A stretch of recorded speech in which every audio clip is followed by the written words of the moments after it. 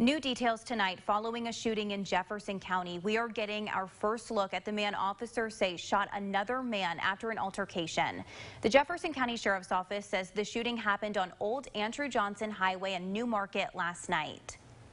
They say two men, now identified as Charles Lowry and Troy James Wells Jr., got into an argument on the phone. They saw each other on Old Andrew Johnson Highway later in the evening and got into an altercation.